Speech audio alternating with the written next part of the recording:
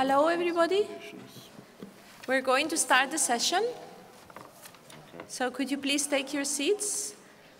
We are 20 minutes late, so we have a big challenge ahead of us to keep to the time. Um, I will be asking the speakers to really do their best to keep to the time and I hope that we will have at the end of the session sometimes for, for questions and answers as a reward. So let me introduce myself briefly. I am uh, Inma Placencia. I am a senior expert in the European Commission on uh, disability and inclusion. And I am going to be your moderator for this uh, session. This is really a very interesting session because this conference, which is about accessibility, is going to be, is requiring a definition of what accessibility is about. And that's what we are going to discuss today. When we talk about standards, manuals, toolboxes, guidance, we need to have to spell out what accessibility is in order to have a step towards implementation. I think that um, it is very important to um, use those resources which are available worldwide. In this area of disability policies, accessibility, resources are very scarce. And I think it's important to move forward and avoid reinventing the wheel and make use of those resources which are available. A couple of years ago, to give you an example, we did a study trying to set the basis for an accessibility standard for the built environment. We found out that only in Europe there were over 300 different standards, guidelines, toolboxes, um, legislations that contain technical requirements, and most of them were saying the same, just in a different, slightly way. The holes, the, the, the gaps in particular areas, for example, persons with intellectual disabilities, what, uh, what do they need in the built environment, was in all of them. So why don't we build, why don't we build on those resources and concentrate our efforts, efforts to close those gaps? I hope that in the session that we will have today, we will have an opportunity to share with you those standards, those manuals, toolboxes that will help to advance, to advance in the field. I don't want to take more time, so it's my um, pleasure to hand over the floor to the first uh, speaker. It's an honor for me to have my uh, colleague and director of the Commission. It's another uh, DG, DG um, uh, Information uh, Connect, DG Connect, sorry. Uh, I used to work when it was called Information Society, so sorry for that. Communications Network, Content and Technologies. I get carried out uh, with this. Um, Gail Kent is going to tell us what uh, is happening in DG Connect. Uh, you can see the CVs, by the way, of all the speakers in this booklet. So all I'm going to tell you about Kent is that she has a very, very heavy responsibility, a very important one, with all the research on um, accessible ICT and assistive technologies, which is very relevant for today, but also a directive, a very important piece of legislation on web accessibility. So, Gail, the floor is yours. Thank you very much. So it's a great honor to be here today to present the Web Accessibility Directive of the European Union as one of the innovative policies. Um, as we were getting uh, an award later, I would just also like to thank now the Zero Project and the ESSL Foundation for the recognition on behalf of all the institutions involved in this directive. So, see if I can go, yes. It was a long trip for the European Commission proposal from 2012 in which our colleague and the chair of this session, Ema, was also involved to getting it adopted in 2016. It needed the dedication and commitment of the European Parliament and of the Council of the European Union, for which I would like to give my special thanks as well. The directive entered into force in December 2016, opening the way to ensure that uniformly in the member states of the European Union, all websites of the public sector will be accessible by September 2020 and all mobile applications of the public sector by June 2021.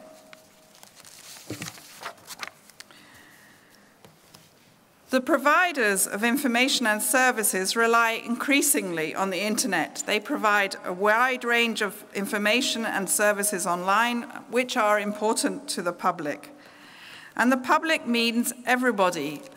My DG is responsible for the digital single market, and we don't want part of the digital single market um, being blocked to um, citizens, and they're not able to participate in it.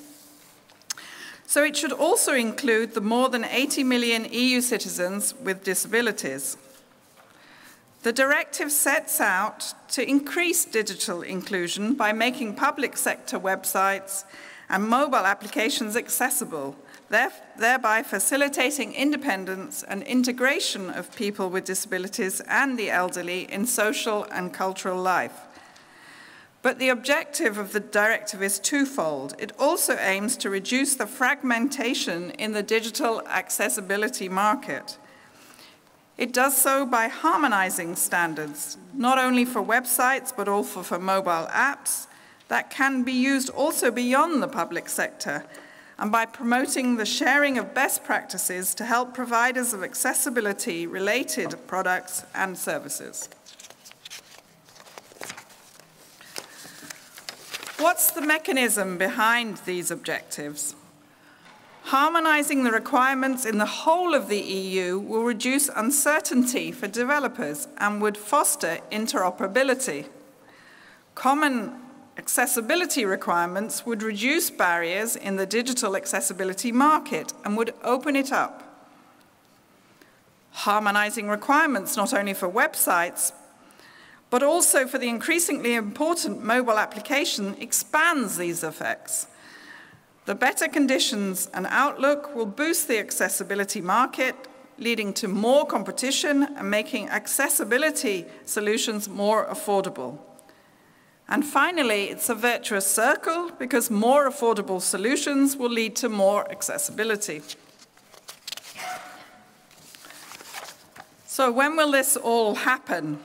The EU member states have the obligation in their national law um, to set it in their national law by September this year and should start to apply those rules by September 2019. By the end of 2020, the rules should also apply to all public web sector websites and by mid-2021 also to all public sector mobile apps.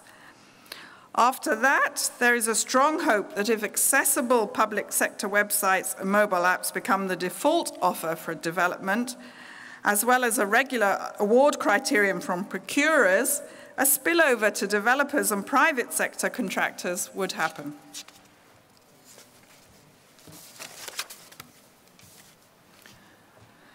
The minimum level of accessibility aimed at is based on the existing European standard. So I'm not going to read out all those figures, but for those techies amongst you, um, you can see it on the screen. The EN standard is also at the heart of the cooperation to harmonize IC stand ICT standards across the Atlantic, which is the subject of another innovative policy recognized by the Zero Project. The directive foresees further technical specifications regarding mobile applications and a so-called harmonized standard that would encompass the requirements for both websites and mobile apps. This work is coordinated, by the way, with the development of the WCAG 2.1 guidelines. That sums up the basis for harmonization. As for the application of the rules, it has to be recognised that for some mainly very small public sector bodies, it would be overly burdensome to provide accessibility from day one. The directive therefore provides the possibility to claim undue burden. These claims, and in general the application of the requirements, should then be overseen in the enforcement mechanisms set up by each member state.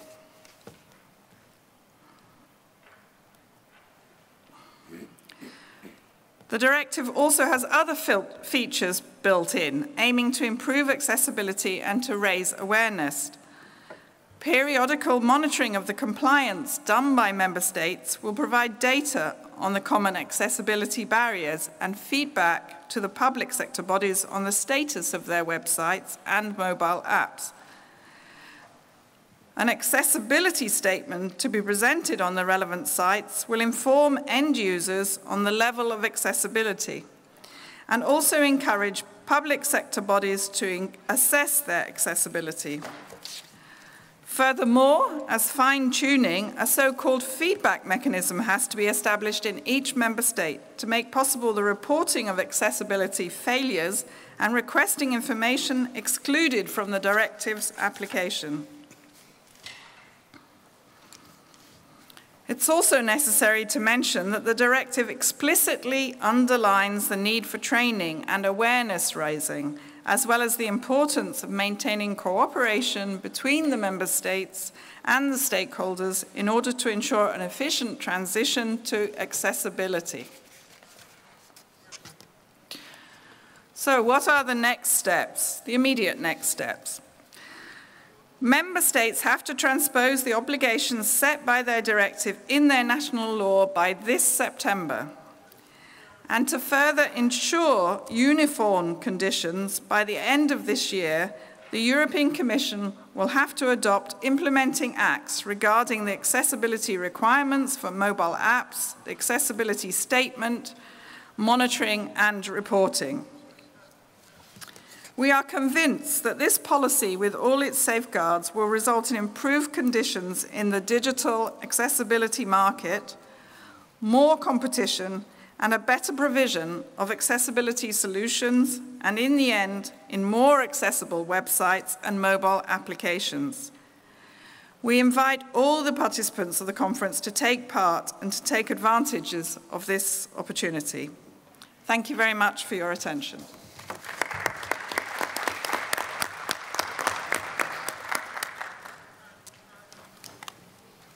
Thank you very much, Gail. I think it's been really um, an excellent overview of um, what the Commission has been uh, doing in order to make public sector websites accessible and how we have used resources that were there in terms of standards, worldwide uh, level standards, aligning also with, with uh, um, US work on um, Section 508 uh, legislation. And now also, I'm really very happy because uh, uh, the work done on the Web Accessibility Directive on the technical requirements will be used in the Accessibility Act in order to ensure that harmonization. I think that in the world of accessibility, harmonization is really uh, a, key, a key word. Now, let me pass now from the ICT world into the world of the built environment, where we really have the privilege of having with us Erika Plevnik, um, which really is going to share her extensive expertise um, as a consultant on accessibility and focusing on the built environment. Thank you very much. Uh, Erika, the floor is yours. Thank you, and uh, Good afternoon. Is it already afternoon or good morning to the audience? Um, first, I want to thank the ESSL Foundation for this very important uh, initiative, and I also want to thank for the opportunity to present uh, our project barrierecheck.at. Uh,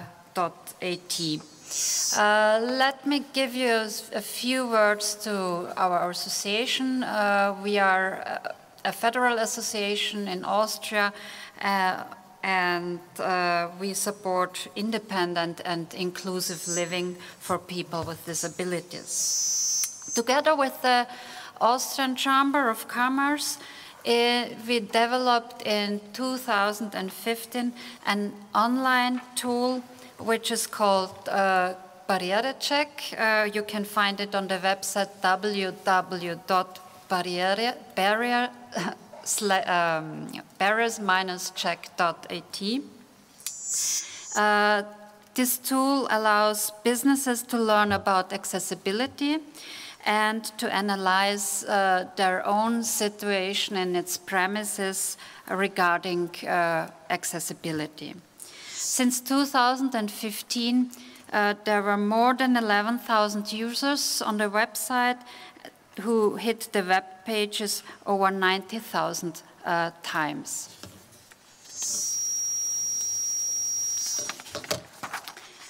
Um, for many companies in Austria, the legislation uh, regarding obligatory uh, accessibility uh, has been unfamiliar and sometimes even met with uh, resistance.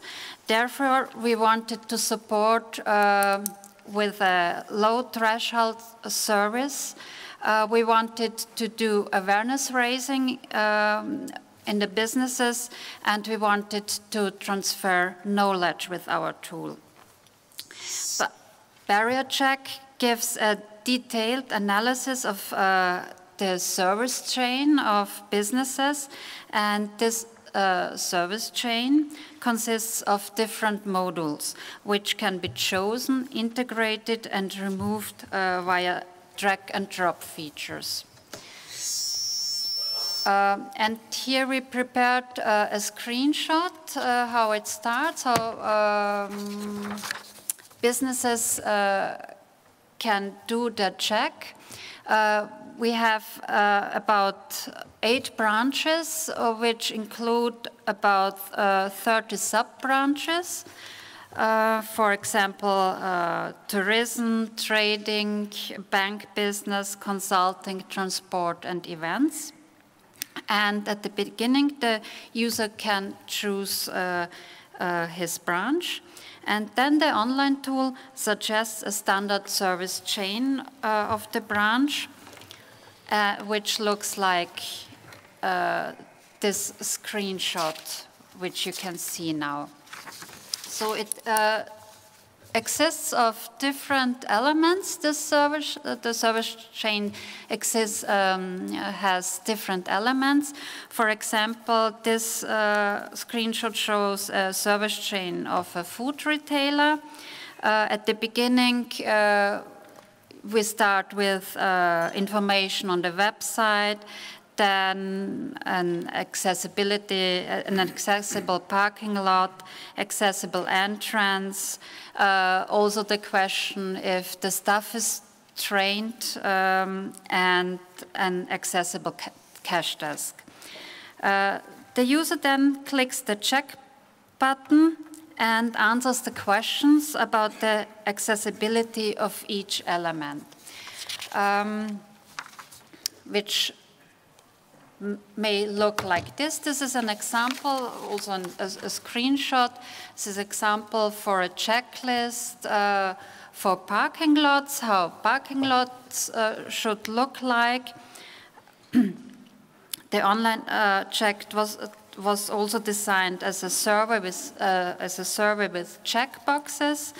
And uh, in this example, uh, the survey requires all information about the parking lots. Um, and at the end, uh, when all uh, survey uh, questions has been answered, the user gets an all over information of the service chain, uh, which is the result. And uh, this list is a structured list of all data, of all data uh, that were gathered. And this list includes information, yes, of all the elements of the service chain. Uh, and we also try to encourage the, com uh, the companies to present the results on their own website, which maybe uh, might be used as kind of accessibility uh, statement. And even some companies do that. They have posted or uh, this uh, accessibility um, um, list uh, on their website. Uh, we've got uh, many positive uh, feedback from the users. Here, uh, some of them um, even even a teacher at school uh, gave us feedback on the tool. They use it to explain the pupils what accessibility in the built environment actually means. Um, yes, we also got feedback that is easy to use, which we wanted to be, uh, and that it is useful. Yes, that's all of my presentation. Um, if any questions uh, uh, raise, please, I'm here. You can ask and contact me. Thank you for your attention.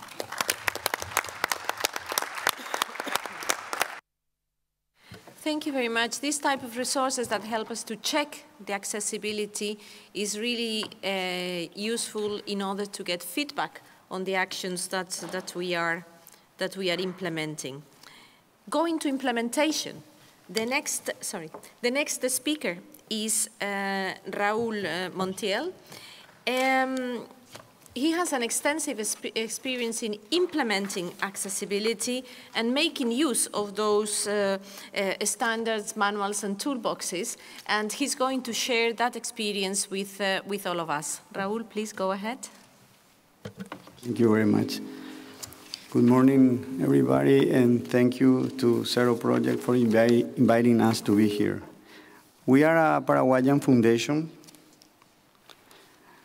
with 21 years of work in the field of the rights of people with disabilities. We, the founders, are parents, brothers, and sisters of persons with intellectual disabilities, but now we are working for all the persons with disabilities.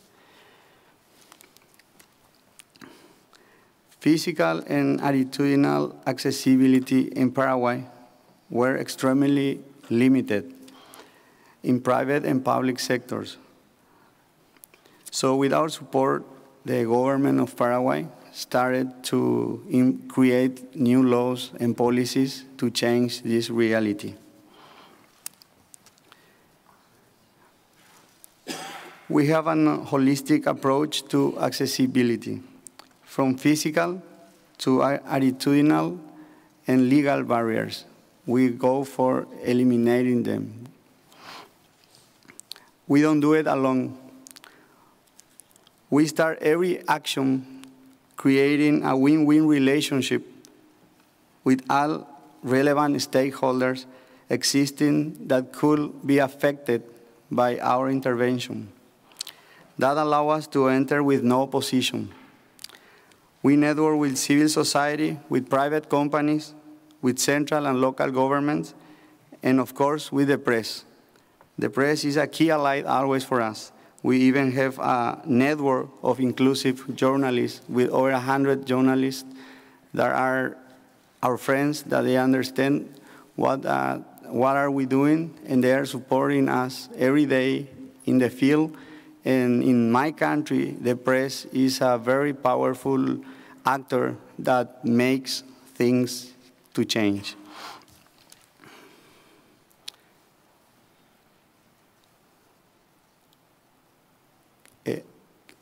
Jason, can we put with the music?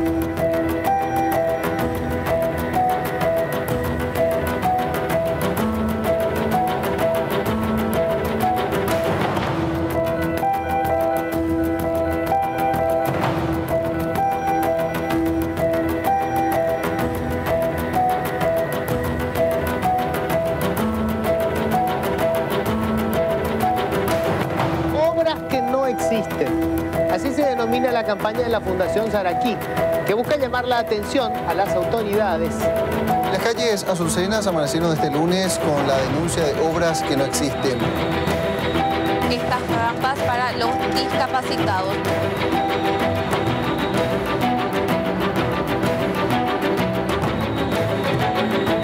Hizo una rampa para solidarizarse con la campaña de la Fundación Saraquí.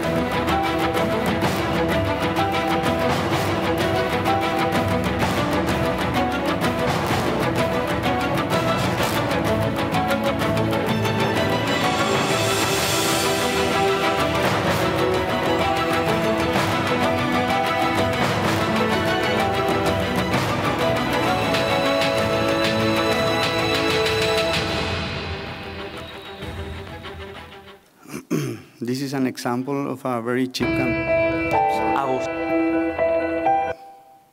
This is an example of a very cheap campaign. It costs us less than $10,000 and it really make many changes because of the public starting to collaborate, then the companies and then the authorities realize the importance of the ramps and after that many regulations were adjusted and Uh, the government started to build ramps. Another example of a campaign to support the Tribunal High Court to make accessible the municipal elections of 2015.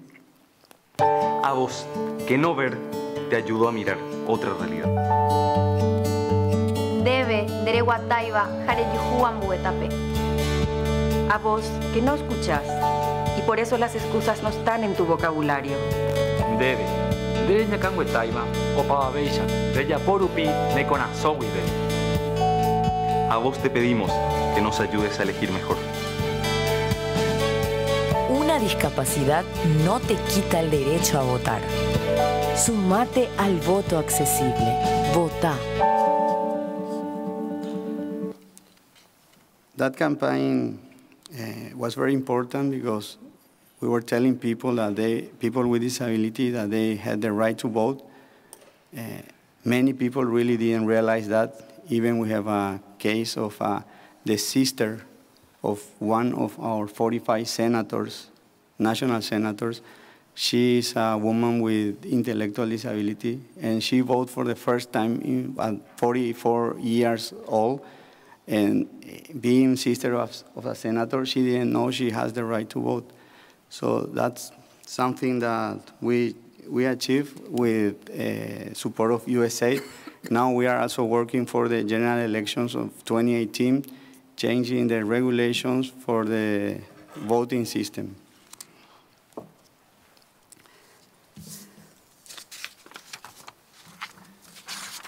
Basically, we don't, want, we don't wait for someone else like the government to create changes we see things better in, in other countries and we take the ideas back home and we just make it happen. We work in, we network a lot. We are uh, small organizations. We have only 25 people working, but we are leading many changes and we are very grateful with our, our support, network supporting us and agencies and the press and because what, when you ask them to do something correct, like identifying and eliminating barriers, they just do it. But sometimes they don't do it because no one is pushing them to, to make the changes. We are heading now to the inclusive education in Paraguay. We are supporting with USA to the Ministry of Education to create a guideline to make inclusion happen because we have a law. One of the seven laws that we created was the inclusive education law, but from 2013 that law is, is there, but inclusion is not happening because no one's know how to make inclusion happen, especially in a poor country where uh, support systems are simply not there. And we are doing that in another, another issue. We are working in the creating of the indicators of our 2015-2030 Action Plan for Disability, which is a main accomplishment from the civil society. Thank you very much.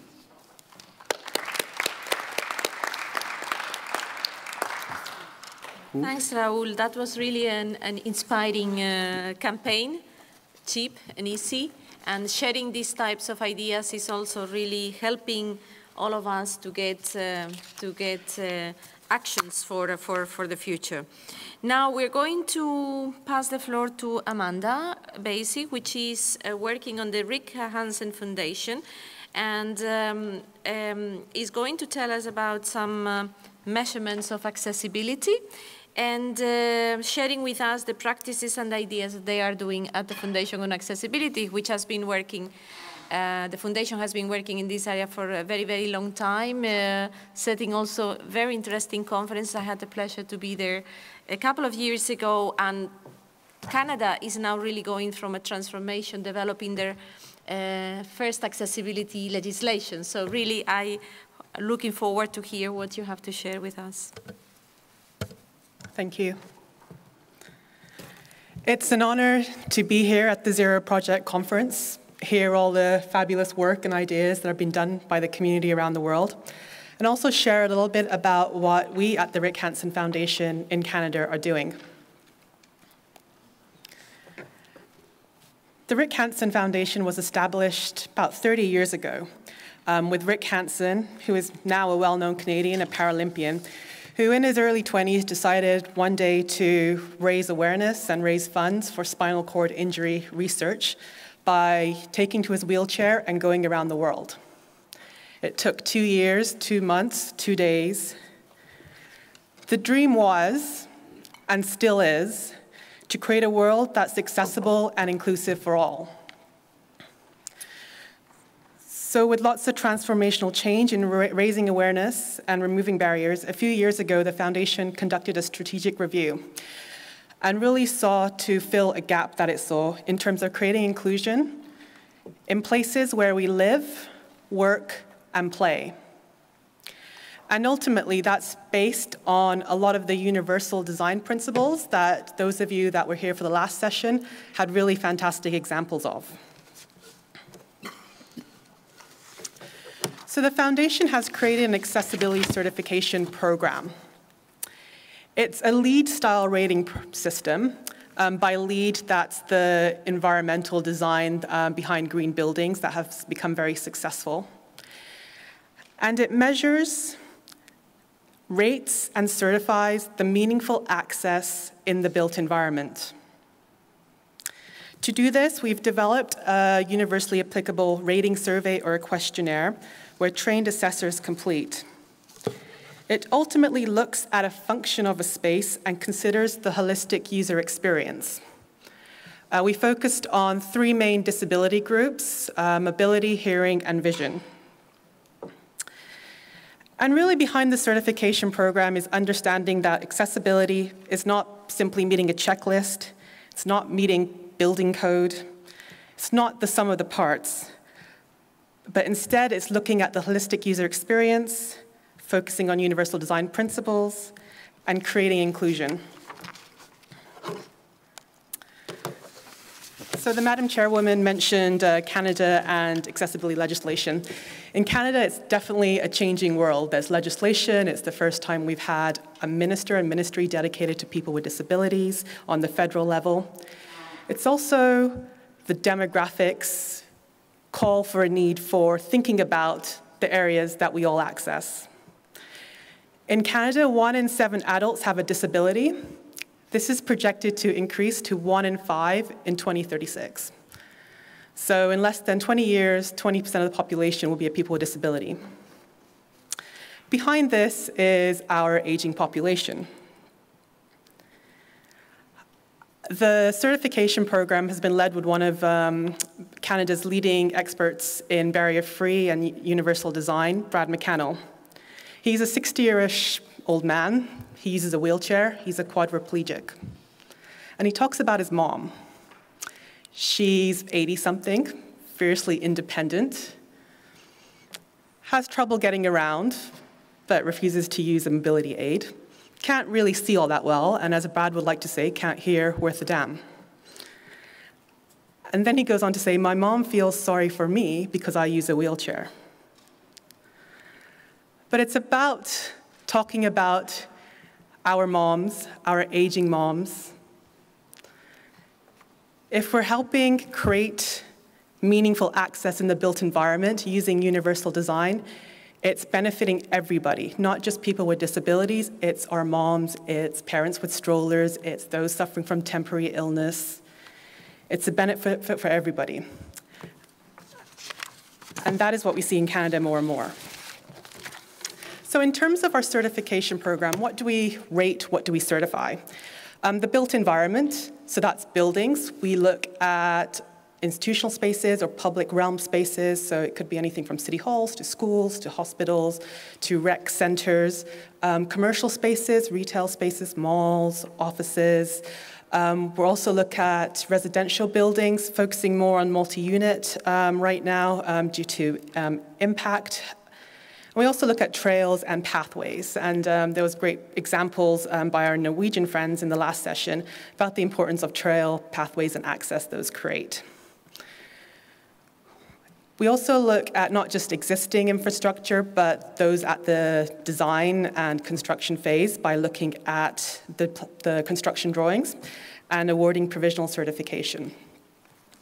And the certification program, one of the outcomes is really to put the thinking of barrier-free design, universal design, back into the hands of designers.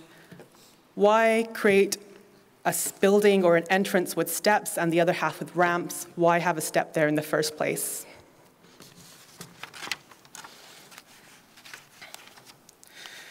When we look at what will be rated, um, assessors have a look at various aspects of the building, which is listed on the, on the screen behind me. Um, and these various categories form the questionnaire or the rating survey.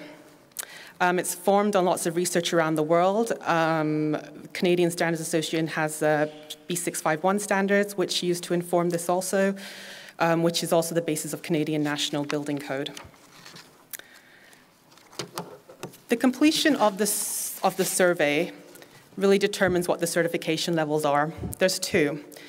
Um, if a building scores 80% or higher on the survey, it gets a certified gold designation.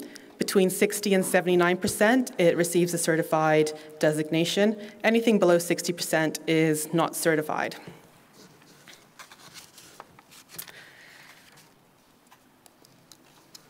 Before I go on to the sustainability, um, the funding and the capacity and the business model, um, I'd just like to talk a little bit about how it works um, to, to, allow scalability and the pieces that we've been working on. So we've partnered with the Canadian Standards Association to create a registry.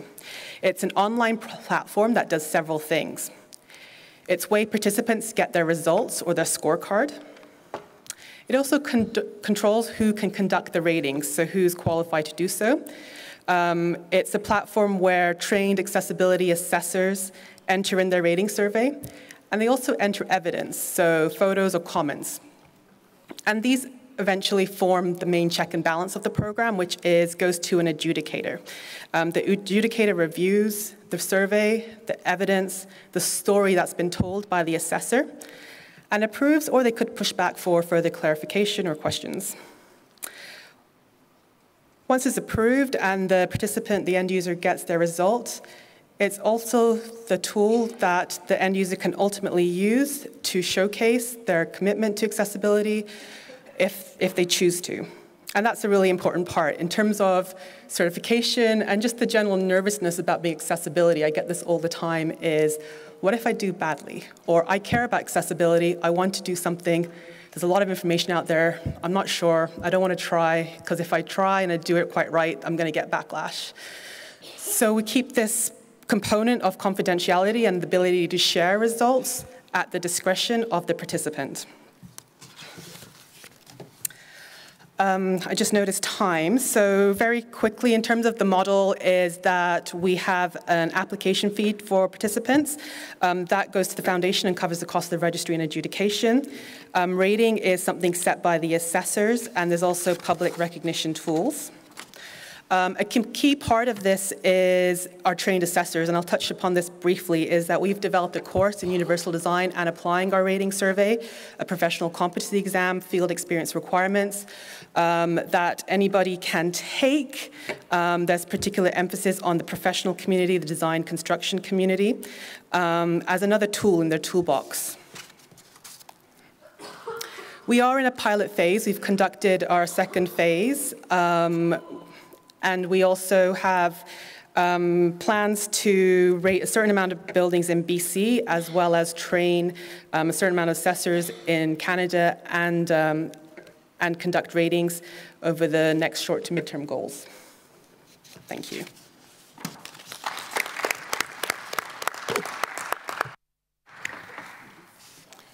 Thank you very much, Amanda. I think that um, this uh, toolkit contains really uh, a lot of knowledge and experience that you have been gathering throughout the years and uh, uh, the combination of checking for accessibility but at the same time training and having remedial actions is really something that we can, we can all take, uh, take back uh, home for our own buildings and, and cities. let me tell you that um, in the places where we work, in the places where we live, there is a lot of improvement also to be, to be done. So um, this is, uh, we have been concentrating for the, to the built environment, accessibility in the built environment, started with ICT, and now we're going back to ICT. And it's my pleasure to introduce uh, Klaus Höckner, which is um, a member of the Austrian Disability Forum, uh, he is here also representing the, the, the, user's perspective, but he's an, an, an trained um, engineer. He has a very technical background, and he's going to share with us how um, he is looking to this issue of standards, manuals, toolboxes um, uh, to improve accessibility. Thank you. Thank you. Thank you, Inma. Uh, the services for the blind is not is not really uh, the right session that we are in. Uh, I, that switched me from the, from the other one. I'm uh, wearing several hats here uh, in front of, of the audience.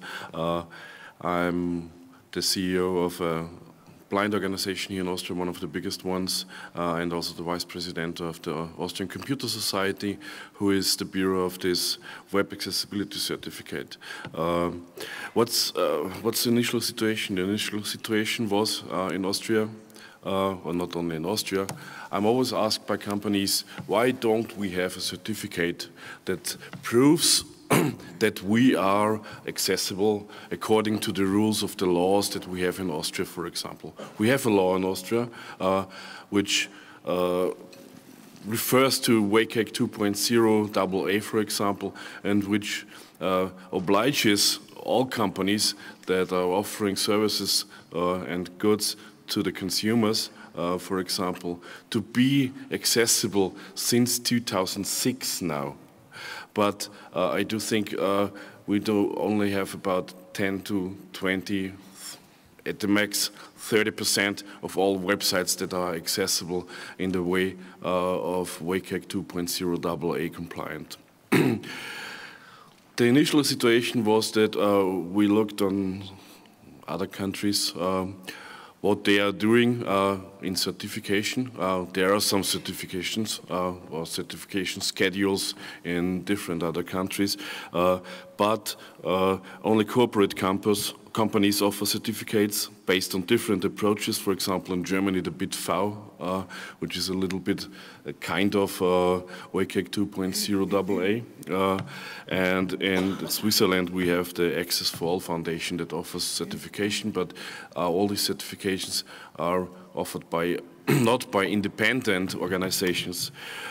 Uh, due to these different approaches and standards, it's difficult to compare the results, and that's uh, we are, why we are coming back to the first um, uh, to the first uh, presentation that we had about the Web Accessibility Directive. The Web Accessibility Directive also uh, has the obligation uh, from 2020, I do think, on uh, to make a sample and to make it comparable uh, between the different countries and to report from the countryside to the Commission uh, about accessibility.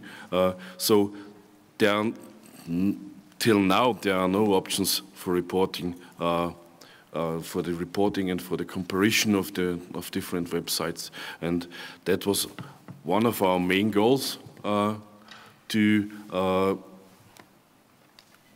enhance the user experience first of all yeah that's, that's, one of the main goals that we have, yeah, uh, and to achieve legal security for the owners of the website, uh, that they can say, okay, if they are sued, for example, in, in Austria, we are compliant to WCAG 2.0, or we are compliant to the rules that are uh, in force in Austria.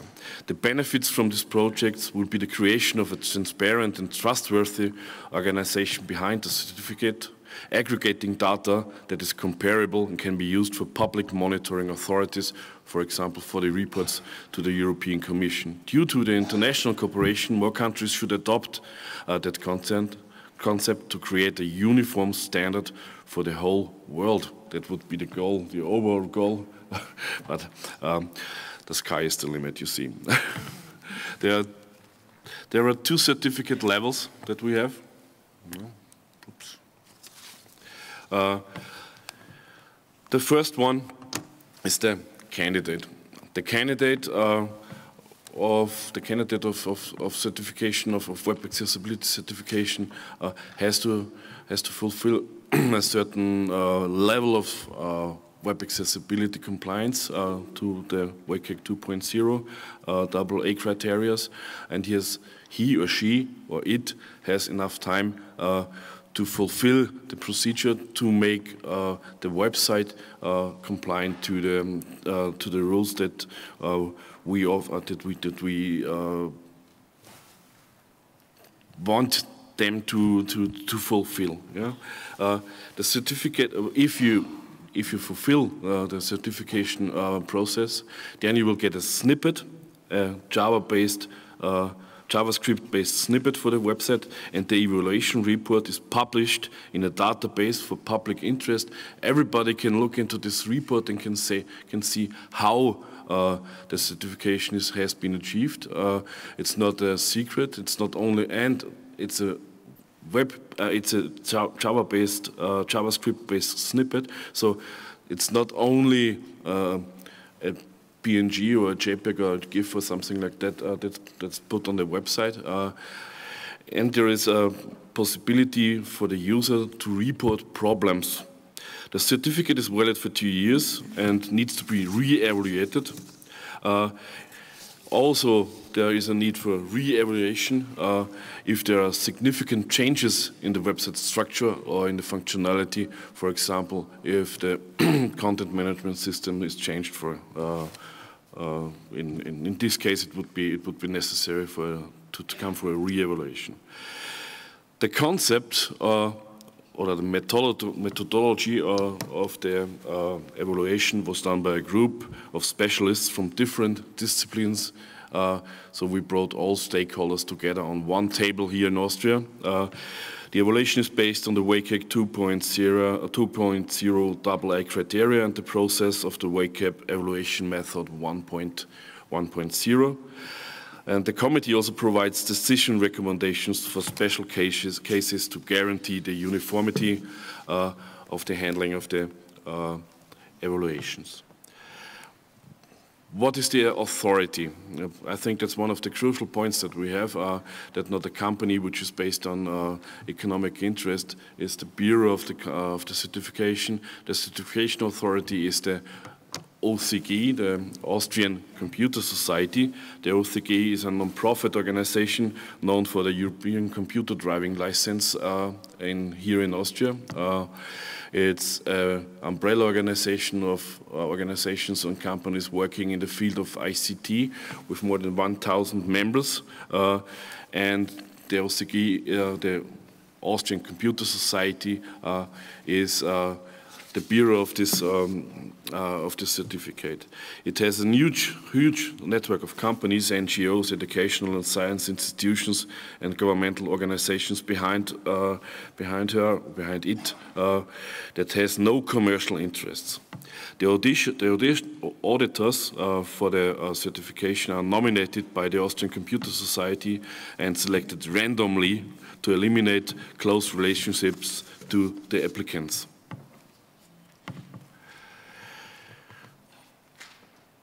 We have also an independent advisory council um, that has set up this uh, certification that is responsible for the conception, implementation and monitoring of the methodology as well as for strategic issues. issues. It consists of the methodology group and the general board of uh, the uh, certification uh, process. Yeah? The board also nominates auditors after the application. They have to provide essential knowledge and experience in the topic of accessibility, of the web accessibility in general. The Advisory Council consists of people from different organizations, such as, such as agencies, universities, NGOs, and governmental organizations, to provide a maximum knowledge for decision making. Thank you.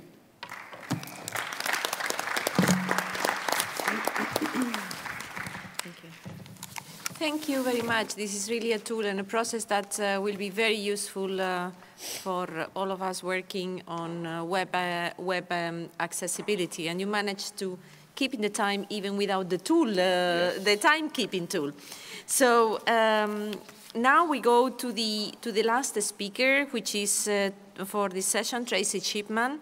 She is um, a program director from GAATES um, which is an alliance um, working on accessibility.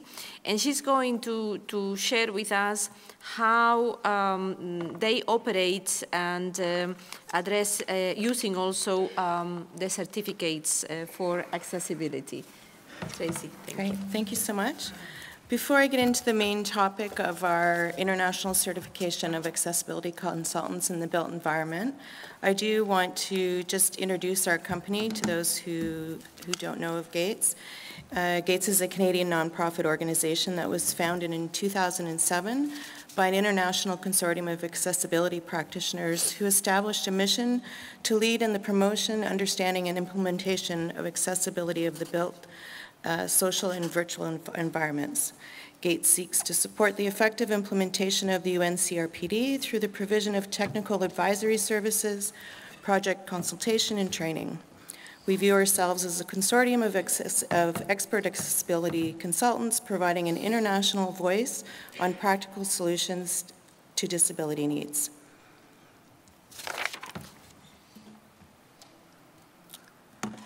So before I get into go to the main topic, I just want to provide an overview of a couple of examples of our other programs, um, as well as touch on the Canadian and ISO standards that guide our work.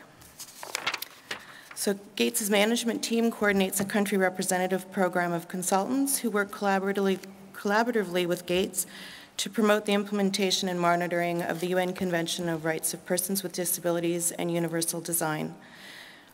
GAATES's country reps are volunteers who are committed and critically important to assist in the achievement of GAATES's mission and goals. There are several GAATES's projects which have been successfully completed over the past 10 years that would not have been a success if they were not, without their professional involvement.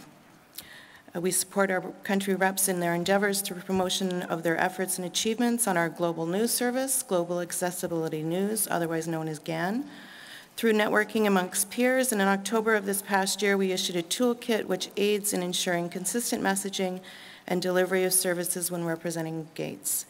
And we are uh, currently seeking uh, country representatives in the areas of Central and South America, Thailand, Japan, and Europe. So if you or someone you know is interested in representing their country in this important work, we encourage individuals to access our website to read about the program or to contact myself or colleagues to discuss further.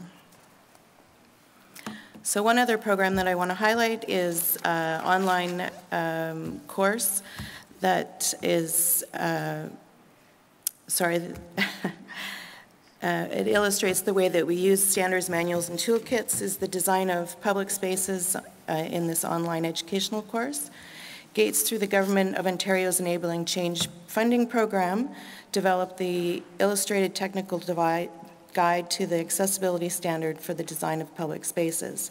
This manual is the basis of the online course developed through the same funding program that trains professionals on the requirements of accessibility for Ontarians with Disabilities Act. So the, uh, on completion of the course, participants will understand the scope, application criteria, and technical requirements of AODA, as well as their professional obligation to comply with this regulation. The manual provides valuable information regardless of your location and is available as a downloaded resource on our website. While the course provides six hours of approved development credits for practitioners in Ontario, it is open to anyone interested in furthering their understanding of the practical implementation of accessible public spaces. So given that uh, GAATES is a Canadian based nonprofit, I just want to touch briefly on Canadian federal and provincial standards. I feel, Amanda, that maybe we should have coordinated our discussion a little bit. But uh, as per details on the slide, the provinces of Ontario, Quebec, and Manitoba do have specific uh, provincial disability rights legislation in place that directs work in the built environment. Where provincial legislation is not in place, uh, provinces are guided by the Canadian Charter of Rights and, and Freedoms. And Canada, as mentioned by our chairperson, is in the process of establishing a Federal Disabilities Act. So they've just completed their consultation phase, and more details, I'm sure, will be soon forthcoming. So in addition to disabilities rights legislation, Canadian building codes and standards also address accessibility in the built environment. Um, the National Building Code applies to federal facilities, federal regulated agencies such as banks, postal facilities, and transportation facilities and objective based. This means that every technical requirement in the building code is achieved, must achieve at least one of the stated objectives of health, safety, accessibility, fire and structural protection, and environment. So four provinces in Canada have developed their own provincial building codes. Um, and in addition to the in addition to these, the Canadian Standards Association has also developed the, the CAN CSA B651 accessibility of the built environment standard, which also applies to federal facilities, federal and federal regulated agencies. Um, Canada is leading in a lot of its work, but all of these various standards do sometimes lead to a lack of harmonization of accessibility criteria across the country.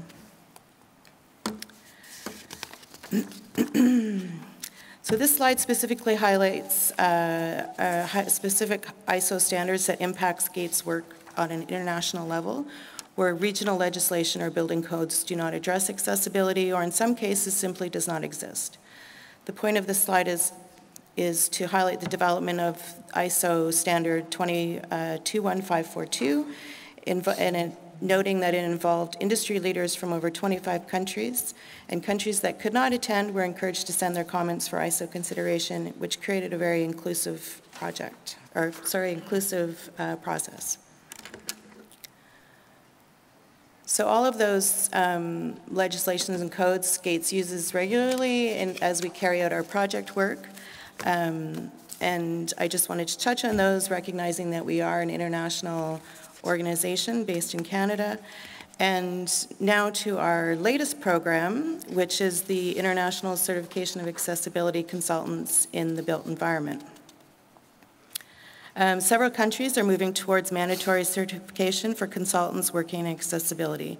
There's a global need to identify and classify through certification the wide range of knowledge and expertise amongst people who work in the field of universal design and accessibility consulting in the built environment. International and national accessibility codes and standards, as well as disability rights legislation, including the CRPD, are complex. It is imperative that designers, architects, engineers, and clients are able to identify professionals in this field with appropriate level of knowledge and skill for their projects. La the lack of an international certification program has allowed people with little or no training or expertise to present themselves as, as accessibility experts. This has led to uneven code application and sometimes inadequate or inappropriate design solutions. The identified need for validation of those working in the field of accessibility was recognized by GAATES, who has filled this important gap. Significant time and with contributions from recognized global leaders, uh, this has res resulted in the first ever international level certification program for built environment accessibility practitioners, with evaluation based on both regional practices, international ISO standards, and universal design.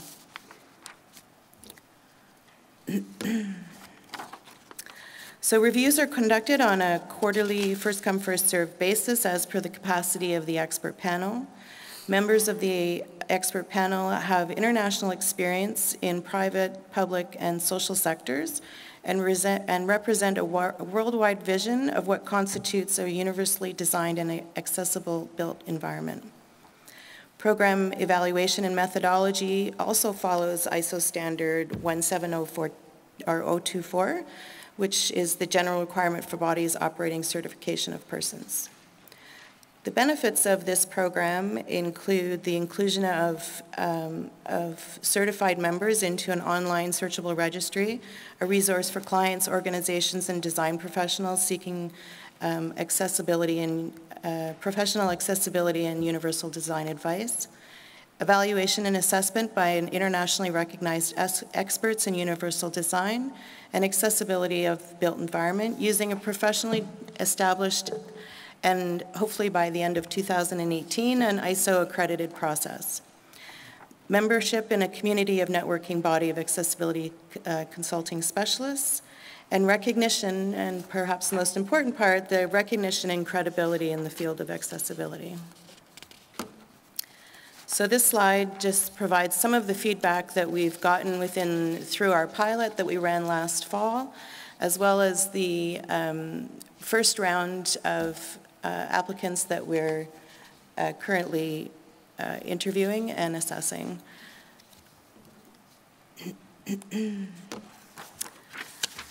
So a final few points on our latest program. Um, the contact information, should you wish to apply or contact for more details, is on the screen, either through our website or the email address is there, certification at gaates.org. Um, and one final point, we are, um, uh, if you're interested in taking part in the program and becoming a member of our expert panel, we'll be pleased to accept CVs and discuss this opportunity with you further. And as a perhaps final, final note, there is still uh, space in our, uh, few spots available in the reviews that are taking place in early April. Thank you very much.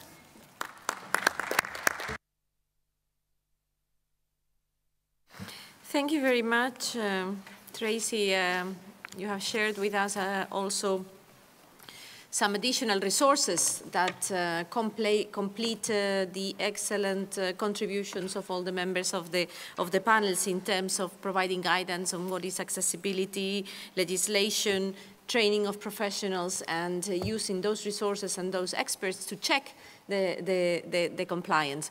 So we are I think, over the, the, the, the, time of our session, but I would like to, to give the chance to see if there are um, burning questions. The next session will start only at one, and as it has been decided that you jump from one to another, um, I want to take that uh, time. Okay, so the gentleman in the second row, please go ahead. Um, thank you very much. Uh, my name is James Niamzala. I'm a researcher on issues of accessibility and inclusion. I have two questions, and uh, the first question goes to Klaus. Uh, thanks for the presentation. Uh, throughout my research, I have found out that there is a confusion in terms of some laws where they uh, put uh, technical uh, requirements and technical details together and confusions of as well at least to standard manuals. So the confusion between standard manuals and what details the standard manuals should have and what details the law should have. Can you uh, clarify what should constitute accessibility uh, laws and what should constitute standard manuals as regards to technical requirements and uh, technical details.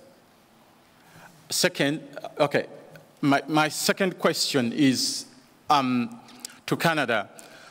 Uh, Canada is, pursuing, in, in, terms of Ontario, is pursuing uh, integrated accessibility standards as opposed to uh, uh, accessibility standards for consumer goods and uh, services. So what are some of the advantages why Canada is pursuing integrated accessibility standards rather than fragmented standards that it used, uh, it, it, started with?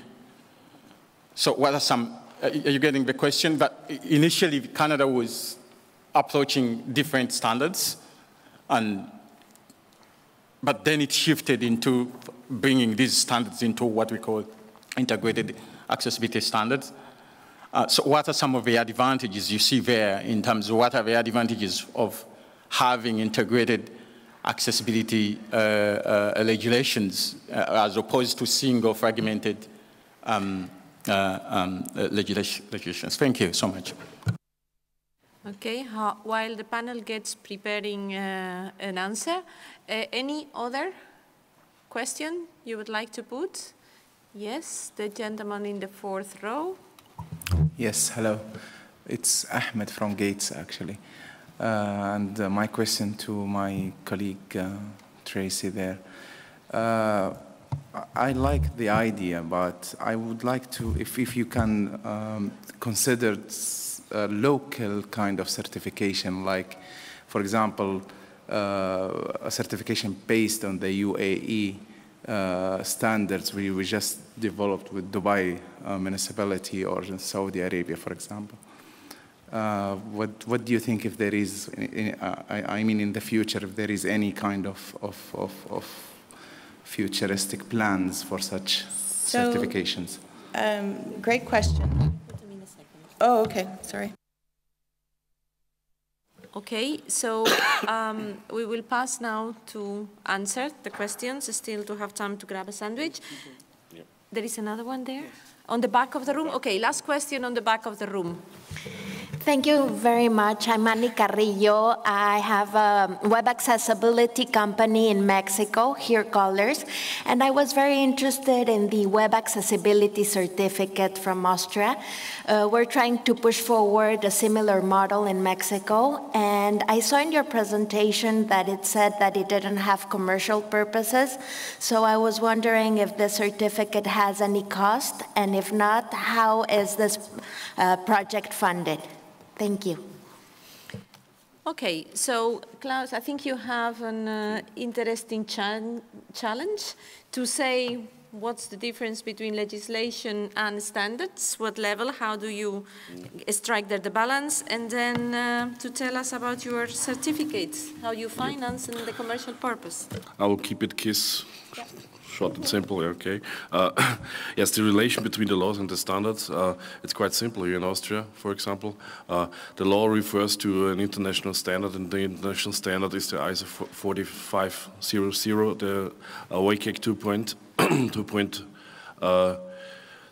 uh, in the future 2.1, uh, and there to the uh, double A. What in, in other countries, I can't I can't say about I can't say nothing about this. Yeah, but we are referring to um, to the WCAG 2.0 AA, and in the WCAG, uh, you have the techniques. So uh, you can you can see how to program uh, a website and how it has to be fulfilled on the technical side. Yeah? So that's that's quite simple, and we are referring to to Austrian laws. Yeah, and I think uh, in the in the future there will be uh, there will this will be on the European level because of the uh, Web Accessibility Directive and also about the EN 301549, which was mentioned before they are also referring uh, in the field of web, web accessibility to the WCAG. Uh, so that's for, from my point of view, it's, it's very, it's very, it's very simple way. Uh, we're simple, simple and straightforward. And about the costs, yeah, uh, we don't have any commercial interest, but we have to pay the auditors, the auditors, and we have to pay all the, the reviewers, and we have to pay uh, some other costs, some overhead costs, for example, for the infrastructure, for for the servers, and so on. Yeah, so that uh, um, the certificate costs. It depends on the level that we have. Uh, and the amount of, uh, of sites in, within the site uh, that uh, within the site that we that we have to improve, yeah, uh, that we have to prove or that we have to check, yeah, uh, and how is it financed? We have a big player uh, from out of the private sector now that has given us the money that we can implement it now. Uh, but I can bring you together with the responsible person in the Austrian Computer Society who is in charge of that. And so you can discuss with him all the details. Perhaps you can uh, copy-paste our model to Mexico. Uh, that would be a good opportunity. Uh, and that's one of the reasons why I'm here, frankly spoken. Thank you. Thank you very much. I, I, I think that the, the, issue of the relation between standards and legislation is really um, uh, very, um, very crucial for getting it, getting it right. There is a, there is a natural tension between, uh, you know, having general legislation that will last for long and having detailed technical requirements that say how to implement or make it easy to check. And that tension is, is, is there, and you need to, to try to find, I mean, I think it's, Klaus gave us a very nice uh, uh, example of how to strike that balance between being precise and enforceable and being future-proof and, and, and looking to, to a flexible, uh, flexible scheme. But um, the tension is there, and uh, luckily we have some examples and solutions um, around, but um, you will need to really uh, work. I, I, really also suggest that you talk to countries that have really legislation on accessibility for the long time, like um, the US Access Board and so forth, which can really give you some good examples of what is happening. Sorry. Yes, of course, uh, you can complement. Thank you. Our experience in Paraguay was that uh, we first we work with the authorities to create the standards, the national regulations, technical ones that are being changed like every year because they are improving and they are entering new ones. So all those technical regulations are in a package uh, of norms.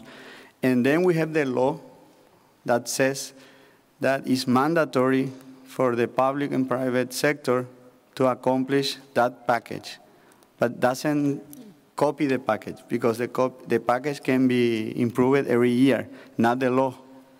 So it's mandatory by the law, but the cap package is technically moving every day.